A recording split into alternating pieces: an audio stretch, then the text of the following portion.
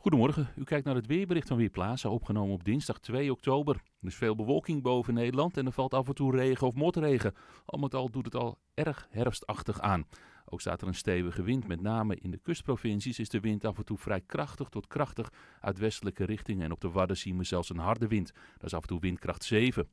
Vanmiddag is het zo rond de 15 graden. Nog steeds is er vrij veel bewolking en er valt wat regen of motregen, maar vanuit het noordwesten wordt het geleidelijk aan wel droger.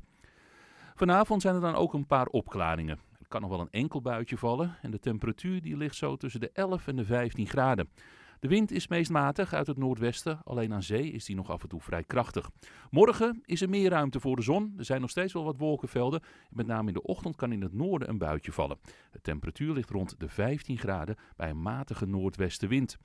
De komende dagen gaat de temperatuur verder omhoog. Donderdag en vrijdag flinke zonnige periode. Met name vrijdag ziet er mooi uit. Met maxima in het binnenland tussen de 20 en 22 graden. Zaterdag wordt het weerbeeld weer onzeker. Er is kans dat het stevig gaat waaien en dat het gaat regenen. Mijn naam is Raymond Klaassen voor Weerplaza. Nog een fijne dag.